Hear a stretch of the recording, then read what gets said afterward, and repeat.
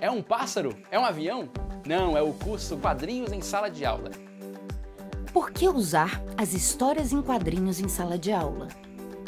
Os jovens que leem quadrinhos gostam de discutir, de trocar ideias sobre as histórias em quadrinhos que eles leem.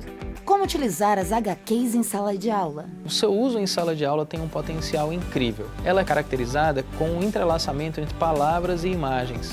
E a imagem ajuda muito o aluno a memorizar, a, a, a gravar e a compreender melhor muitos conteúdos. Acho que é legal o professor abrir a mente e entender que existe ali nos quadrinhos um universo cultural que é muito interessante para essas crianças e que ele pode explorar isso em sala de aula.